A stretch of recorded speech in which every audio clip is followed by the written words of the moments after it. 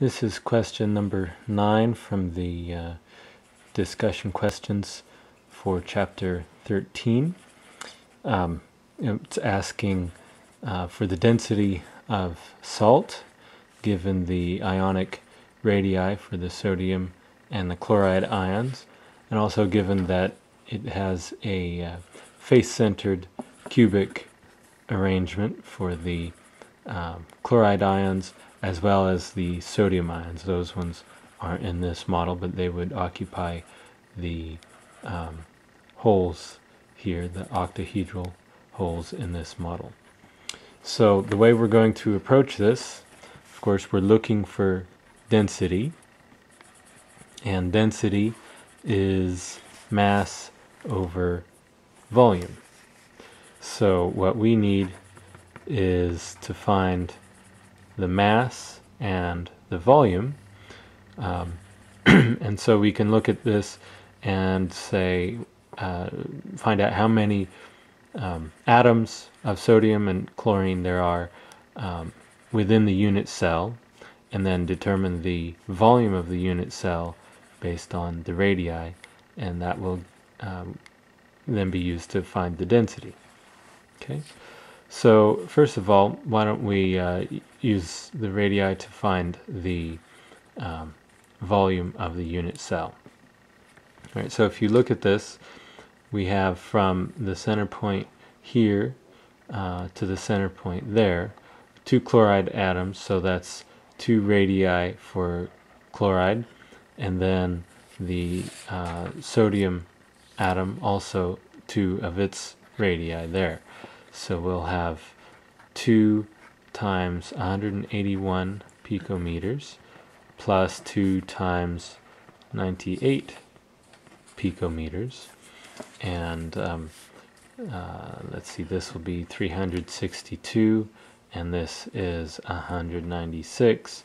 So if you add these together, um, you get 558. Okay.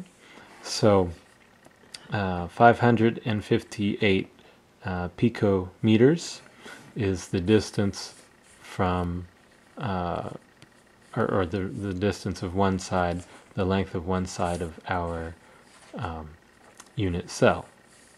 All right. So what we need to do is cube that to find the volume of the cell. Okay. So if we take 558 uh, cubed. Uh, all right. That gives us a, uh, a very large number, and that's um, because we're in picometers. So why don't I go ahead and convert that to centimeters first.